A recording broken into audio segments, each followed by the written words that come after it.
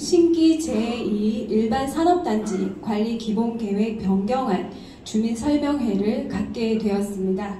오늘 설명회 성격을 말씀드리면 법률적 근거에 의해서 해야만 하는 설명회는 아닙니다.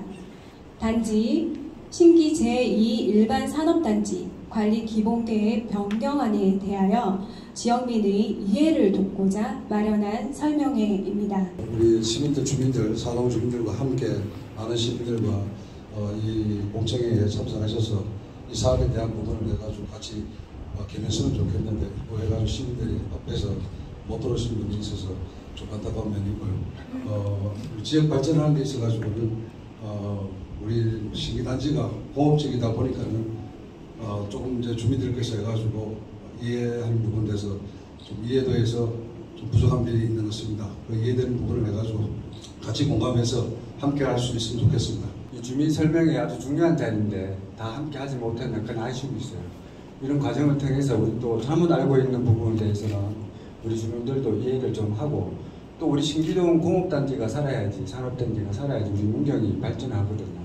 그런 의미에서 서로 이제 윈윈할 수 있는 그런 한 단계 나아가는 오늘 그런 자리가 어, 되기를 바라고 우리 또 시의회에서 의원들 참석했습니다. 우리 의원들은 우리 신기동 주민을 위하고 또 우리 문경을 위해서는 함께 할 그 준비가 되어 있습니다. 오늘 그 유익한 자리가 되시고 이 열분이라는 기술이 그 앞으로 차세대에 저희들이 그 도입해야 될그 국가적인 어떤 그 사업입니다. 이런 사업이 우리 지역에 맞는지 오늘 우리 다 함께 어, 어, 그런 걸 알아가는 계기가 되었으면 좋겠습니다. 제가 잘 아시는 바와 같이 저는 환경부 출신입니다. 누구보다도 환경을 공부했고 환경을 걱정하는 사람으로서 지역의 시장이 되어서 환경 문제 누구보다도 관심이 많습니다. 첫 번째 환경 타개는 전쟁이고 두 번째 환경 타개는 빈곤이라 경제 선진국이 환경 선진국입니다. 못 사는 나라 가면 환경이 제대로 될 수가 없습니다. 제가 빚지 없다는 얘기를 무수히 들어가면서 이곳 신기 제2산업단지 땅값만 180억이 들었지 않습니까? 그때 많은 사람의 반대를 무릅쓰고 신기사 이 산업단지를 조성을 했고 그것이 이렇게 신기, 신기 발전의 모태가 된 거 아닙니까? 그렇게 했는 것이 아직도 한 필지가 분양이 덜 됐습니다. 그래서 그 분양을 끝내기 위해서 이번에 제안된 것이 열분의 리보테크 회사 아닙니까? 산업단지에 비워두는 것보다 공장이 들어오는 게 지역 발전되는 거 아닙니까? 지역을 걱정하는 방법은 좋습니다. 폐기물이라는 이유로 무조건 반대하는 것이 논리적으로 맞습니까? 폐기물이 뭐가 그렇게 나쁩니까? 그럼 반대하시는 분 폐기물 발생 안 합니까? 일회용품 안 씁니까? 환경부가 인정하고 이제 탄소 중립 때문에 열분해로 갈 수밖에 없습니다. 열분해 대한민국 16개 회사 중에서 연속식 열분해는 유일하게 리버텍밖에 없죠. 이런 유망한 회사가 앞으로 머지않은 장래에 상장까지 바라보고 있는 이런 유, 망한 좋은 기업이 산업단지에 들어오는데 왜 반대를 하십니까? 반대 논리가 뭡니까? 그것이 지역 발전을 위한 논리입니까? 새롭게 허가를 내는 것도 아닙니다. 이미 허가를 받아서 운영을 하고 있습니다. 그것도 멀리서 운영하는 거 아니고 바로 여기 마석에서 운영을 잘하고 있습니다. 고원에서 그냥 열분에 녹이니까 기름과 가스로 나오는 것밖에 없어요. 그 안 되는 논리를 설명을 저한테 해주세요. 납득이 되면 이해가 되면 제가 받아들입니다. 오로지 지역 발전에 도움이 되고 하나라도 한 업체라도 들어와서 고용 창출이 되고 능력의 미래를 만드는 길은 산업단지를 만들고 유명한 업종이 우리 지역에 위치하는 것 아닙니까? 저 했던 일 되돌아보십시오. 국군 체육부대 할 때도 반대하신 분 많았죠. 신기산업단지 할 때도 반대했죠. 세계군인체육대 유치도 반대했죠. 그러나 결과는 어떻습니까? 다들 안 됐다고 하는 농민사관학교 소방기술은 또 오늘도 백종원의 더본 코리아를 MOU를 체결했지 않습니까? 마성에 있을 때 쓰레기 동상 만든 그 회사는 다른 회사예요.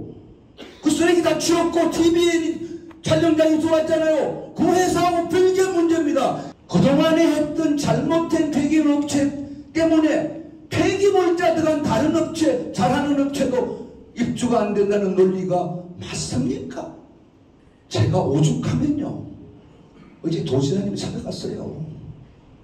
다른 설명도 들었지만 이 부분에 대해서 진솔하게 말씀드렸어요. 이거 환경 문제 대환경청에서 해당 사항 없다고 통보했어요. 환경 전문기관에서 전혀 환경하고 상관없는 문제니까 도에서 판단하라고 했어요. 법률적으로 신기산업단지에 이 업종이 들어가도 되느냐를 따지면 되는 겁니다. 민원 문제요. 민원 문제는 문경시장 책임이에요. 그리고 신기산업단 제2산업단지 입주 관리계획 변경안에 대해서 주민 의견 수렴이 음상이 아닙니다. 주민 의견 수렴은 해야 할 의무가 없습니다. 제가 모두에 말씀드렸잖아요. 우리 문경이 사회자 중년화 이 기회에 있는 이 중차대한 시점에서 왜 개인적 이건 지역이기주가 아닙니다. 제가 단호하게는 개인이기주의예요. 개인이기주의가 아니고 지역 발전을 제하는 이것이야말로 추방되어야 됩니다. 이번 변경안에 대해서 용역사에서 간략히 설명드리겠습니다. 유재용 이사님 앞으로 모시겠습니다. 관리기본계획의 전체적인 그 과학과 환경 분야 쪽을 맡고 있는 세신의 유재영 이사라고 합니다. 네, 반갑습니다. 과거에는 산업단지에서 발생되는 폐기물들을 처리를 하기 위해서는 매립시설만 법적으로 허용해줬습니다. 그런데 이 열분의 시설의 친환경성을 주목을 하시- 해가지고 환경부에서 이 폐, 폐촉법을 수정을 해가지고 매립시설을과 매립시설만 있던 것을 50대 50으로 열분해를 넣을 수 있게끔 시설 확충을 할 수 있는 이런 법적 근거까지 지금 마련되어 있습니다. 저희가 리보테크가 실질적으로 현재 공장도 잘 운영이 되고 있고 현장에 가보시면은 아주 위생적으로 관리를 하고 있는데 산업단지에 입주를 한다고 했을 경우에는 저감방으로서는 현재의 열분의 밀폐와 유지 시설은 더 철저하게 더 유지를 할 것이고 그 다음에 아까 보일러로 말씀드렸지 않습니까? 이 보일러를 전옥 수건을 도입해가지고 질소 산화물까지 저감을 해가지고 주변에 미치는 환경 영향을 최소화하는 것으로 지금 계획은 하고 있습니다. 네, 대표님 앞으로 나와주시겠습니다. 안녕하세요. 리브테크의 황병직 대표입니다. 이 열분에는 옛날 선조들이 이- 이용한 들깨 참깨를 짜는데 거기에 소뚜껑이 붙어 있고 그것을 비닐루가 쫙 달라붙기 때문에 달라붙지 않게 돌려가면서 이걸 분해시키는 기술이다. 그렇기 때문에 그 가스가 나오면 되지 않기 때문에 이걸 90%가 유증기화가 되고 차라고 그러면 우리가 시골에서 불 뗐을 때 나오는 제로 생각하시면 됩니다. 그 정도가 10% 나오는데 90%를 이 관으로 이송을 다 해서 냉각을 하면 1차가 오일이 한 53% 나오고 가스가 37%, 차가 10% 나옵니다. 이게 비닐루가 100이 들어왔다 그러면 이와 같이 100%가 나오는데 이 오일 중에 물기, 비, 비를 맞는다든가 수분이 약 8% 정도 들어 있습니다. 그러니까 비닐루가 지금은 처치 곤란인데 이걸 열분해를 잘하면 우리가 대기 중에 수분이 묻는데 이 수분만 관리가 된다면 전부 다 자원화가 가능하다. 실제 상업 운전을 하고 있는 것은 16개인데 그 중에서 15개가 이렇게 회분식입니다. 회분식은 이렇게 드럼통 같은 것에 요게 한 1톤 정도 되는 것을 고압으로 볶아진 것을 지게차로 7개에서 10개를 밀어 넣습니다. 넣고 요 뚜껑을 닫고 요걸 뱅글뱅글 돌리면서 요 밑에다 불을 떼가지고 요것을 10시간에서 14시간을 삶습니다. 분해를 시키고 다시 냉각을 시켜가지고 요 뚜껑을 열고 요 안에 있는 재를 지게차로 이제 사람이 긁어내고 그 다음에 또 다시 또 집어넣고 이렇게 해서 하루에 한 번씩 하는 겁니다. 그러니까 밥을 한 번 짓고 밥솥을 다 밥을 푸고 밥솥을 씻어서 다시 쌀을 안 치는 이런 일을 계속한다. 이러기 때문에 이제 여러 가지 가동 면에서 좀 어려움이 많고 에너지적으로도 낭비가 심하다 이렇게 볼 수가 있겠습니다.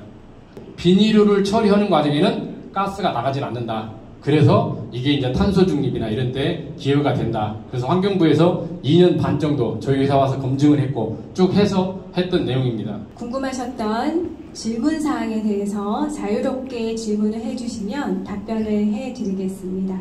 그 원료가 여기 어, 파쇄가 돼 가지고 분리가 돼 가지고 여기 오는 겁니까? 여기 와서 비닐 자체를 분쇄하는 겁니까?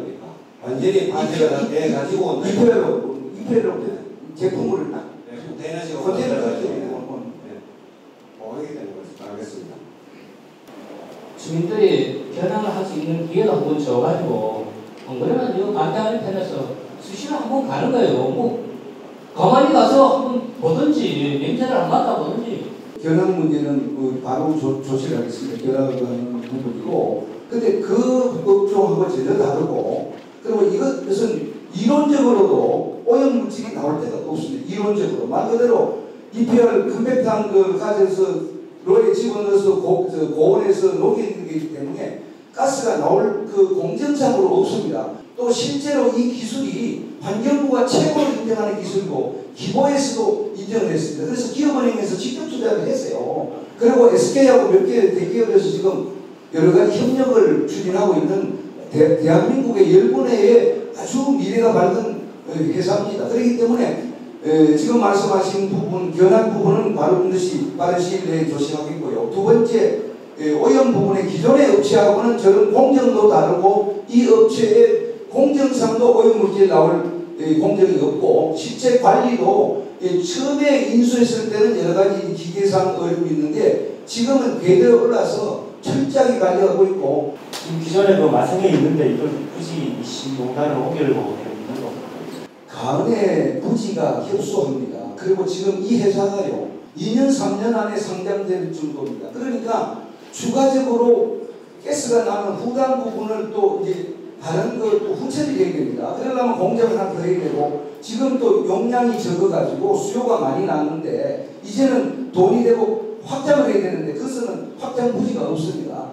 자, 만약에 그러면 하다 가동을 하다가 주민들이 정말 뭐 오기때 정도의 악취가 나고 이게 정말 아니다 했을 때 기업에서는 어떠한 그참 주민들한테 약속을 하는 거예요.